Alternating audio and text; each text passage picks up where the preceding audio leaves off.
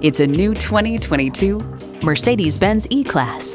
The body grabs you, the interior draws you in, and the engine keeps you coming back. It's well equipped with the features you need.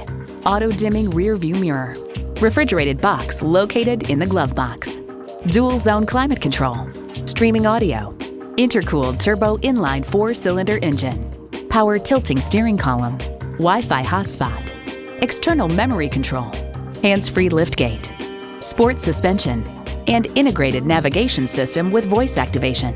Get the best, get Mercedes-Benz. Experience it for yourself today.